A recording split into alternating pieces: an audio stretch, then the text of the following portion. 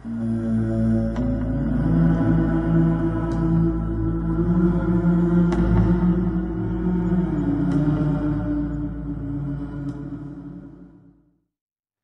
there, Action Johnny back with another build guide for you guys today, and this time we'll be taking a look at a build for the Zealot. I'd like to present a build to you that I call the Retributor. The concept behind this build is twofold. You are both a protective linchpin of the party, providing both support and survivability, and also a powerful AoE damage dealer that excels at a zone of control playstyle. It's a specialist build over a generalist one, which means you'll be really strong in certain aspects, but paying for that strength by having a couple of weaknesses you'll need your team to cover. Nevertheless, giving your teammates the room they need to do their thing is pretty much the forte of this build. So if you like fire, faith, and fury, and also generally being a helpful buddy, then this one is for you. So for this build, we'll be running the holy trinity of area denial weaponry. The Eviscerator, freshly buffed post-patch and an absolute monster when it comes to killing pretty much anything that isn't Carapace armored. The Flamer, which remains a fairly unpopular pick for the Zealot, but for all intents and purposes is still an insanely strong weapon with infinite cleave and the ability to melt mixed hordes and bosses into a slurry. And finally, the Immolation Grenade, which is even more AoE damage and an excellent tool for creating a Zone Mortalis, or more bluntly put, a Murder Zone. Between these three holy armaments, we are geared to absolutely annihilate whatever deigns to come near our party. We'll go into detail on the weapons in just a bit, but for context, let's take a look at the talent tree first and what we're running with. Okay, so first of all we'll start off at the top and work all the way down to the bottom before picking our splash points. We'll be going straight through this middle tree, collecting Anointing Blood, Purge the Unclean, and restoring faith here. Then, of course, the Immolation Grenade. We'll be carrying on through the middle, getting the Emperor's Bullet, Shield of Contempt, the Hammer of Faith, and the Beacon of Purity. And then again, carrying on through the middle to get Chorus of Spiritual Fortitude, Banishing Light, Toughness Damage Reduction Node, and Faithful Frenzy for the 10% melee attack speed because it's just too good not to take. And finally, we'll be grabbing our keystone, which will be suppression, punishment, movement speed, invocation of death, and then the keystone itself, blazing piety, fury rising, and righteous warrior. And that leaves us with eight points to spend. Alright, so back up to this row, and we're going over to take the melee damage, the movement speed, until death, and Holy Revenant to round out our survivability package, which I'll talk about in just a moment. And then for your splash, you have a couple of options. So in the exact version of the build I'm running, I personally take Backstabber and then Scourge for even more critical hit chance. And then I also take the melee damage boost and sustained assault in the bottom right corner just because it is a stacking damage buff that reliably stacks with every swing and combined with the melee damage node you get a nice 25% out of this. You do have some other options though. You can take Ecclesiarch's Call. You will be using Chorus of Spiritual Fortitude a lot thanks to Invocation of Death and your insanely high, high crit rate. So Ecclesiarch's Call isn't the worst selection. Then with the last three points, you could go Disdain here, which is very similar to the talent in the bottom right corner, except this one only works when you hit multiple enemies with an attack. And then Backstabber and Scourge. Or if you're not interested in those, you could path down here for Thy Wrath Be Swift. So you certainly have some options, but if you're like me, then you'll be taking Scourge for max crit chance, and then good old reliable sustained assault here. Okay, so I'll talk a little bit about the various strengths of the build and what it brings.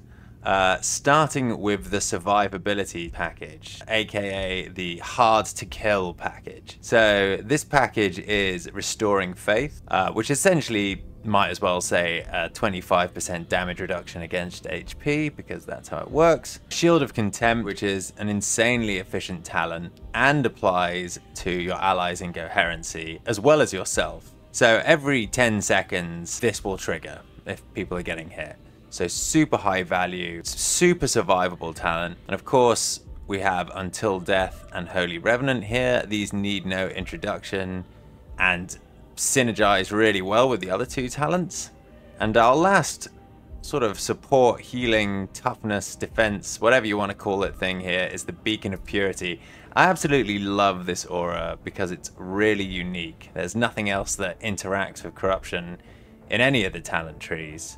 And this is just really great for sort of stopping your various party members from dying in annoying ways. This does somewhat help with multiple burster hits, it also helps versus dogs, just useful, good aura, I really like it. We'll talk a little bit about our area denial talents next. So that's the immolation grenade, which of course puts a literal no-go zone down on the floor where enemies will take damage if they fight us. And the last and most powerful area denial control tool we have is of course the Chorus of Spiritual Fortitude, which has a nice combo you can do with the fire grenade, where you'll chuck the fire grenade at your feet. Let's say there's suddenly like 15 elites in your face that weren't there a second ago, and you don't have time to get your flamer out. You can throw the fire grenade at your feet, and you can whip out Chorus of Spiritual Fortitude and stun lock them in the fire. Talking a little bit more about Chorus of Spiritual Fortitude, it's an incredibly powerful ability. This with Banishing Light, which I'll just talk about as if it's, you know, part of the ability because you have to path through it anyway. It will shut down any gunner that has line of sight to you, so they literally just won't be able to shoot you. So if they can see you, you can shut them down, and it will stagger all enemies in an area around you. This tool right here is going to be your go-to for dealing with sudden packs of crushers and large amounts of enemies that pop up and start shooting the party. This should always give you enough space to not die in those situations. Now, while of course it doesn't kill the enemies, it certainly swings the momentum for you and your party in your favor and gives you some time to start pinging the things that need to die.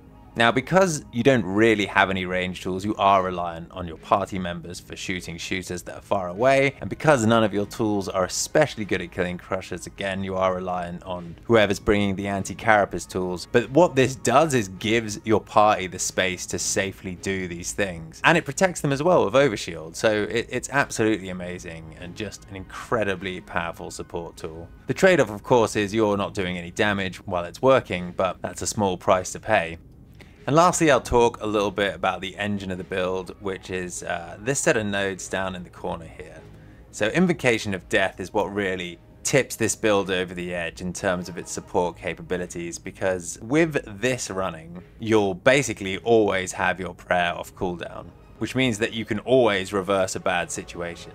Of course, Blazing Piety is what makes Invocation of Death good as it provides the higher critical hit percentage chance you need to get it triggering. And also just like more damage with the Eviscerator, which has got pretty nice finesse stats. Anyway, that's the build in its entirety. Now let's have a look at our tools of war. With its long reach and large sweeping attacks, the Eviscerator is the perfect melee weapon to supplement our strategy. It also has access to the Shred Blessing, which basically gives us stacking crit chance with every attack landed, meaning it compounds with the crit chance from Blazing Piety and synergizes with Invocation of Death for rapid cooldown reduction. With max stacks of Shred and Blazing Piety, your critical hit chance sits at a massive 50%, meaning you'll be critting all the time. If you also choose to splash Scourge like I do, you can boost the upper end crit chance to 80%. All this crit chance isn't just a means to empower Invocation of Death either. It also boosts the Eviscerator's power pretty massively, affecting damage, cleave, and impact.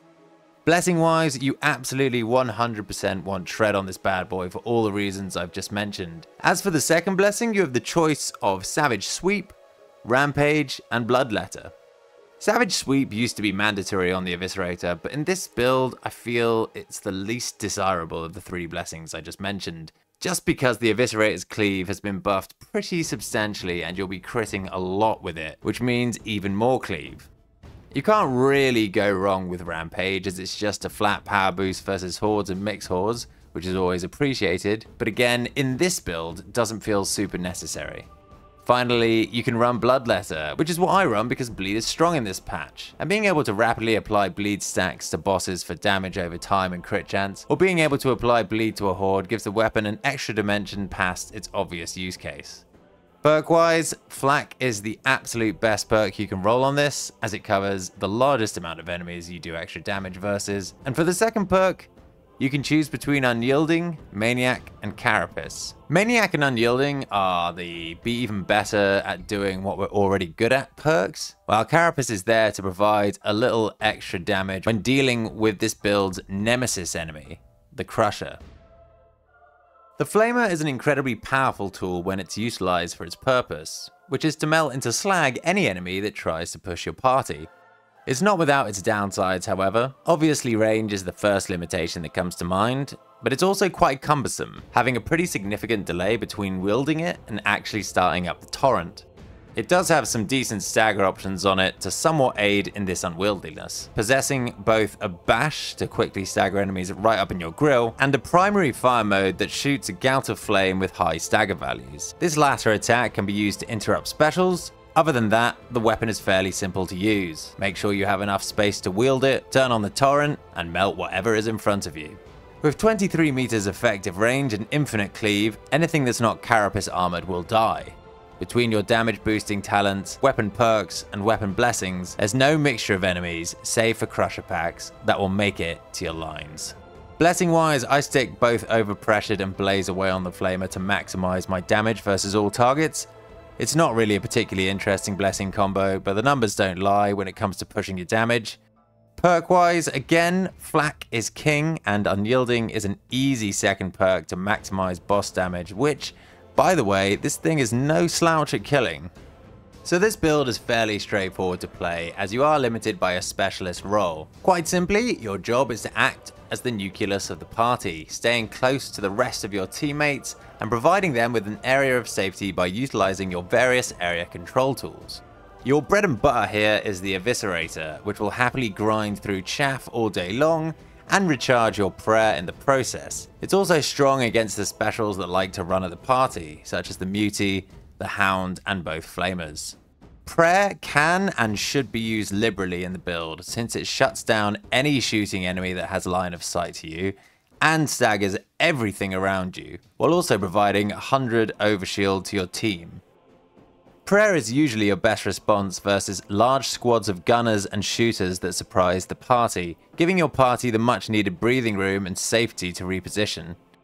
Prayer is also going to be your strongest tool versus Crusher packs as well, which is an enemy type this build struggles with. Make sure to ping when these stacks of Crushers do show up so your teammates know to take advantage of the stagger duration. The Flamer can hold down entire flanks and channels on its own, and I tend to use it in four ways. Annihilating enemies in a confined space, suppressing and staggering and melting shooters in cover the party is pushing towards, barbecuing a mixture of dangerous enemy types running at the party, and finally killing monsters. The fire grenade is the ace in your sleeve, whether you use it on gunner positions outside of your flamer's effective range, or as a clutchy defensive tool to shut down an overwhelming amount of enemies pushing into your space. There are moments in game where you will need AoE damage but do not have the 3 or 4 seconds it takes to get the flamer going, and it's in these instances the fire grenade shines. Simply drop it at your feet, whip out your holy icon, and voila! You have a group of enemies trapped in a roasting pit that just lost all their momentum. So as previously mentioned, this build does struggle against crushers. None of your weapons are good against them, which can definitely catch you out if you're not careful. Thankfully, the meta is absolutely stuffed full of Crusher killers at the minute, so if you do suddenly find yourself accosted by a rabble of armored Ogryns, start praying and let your team handle them.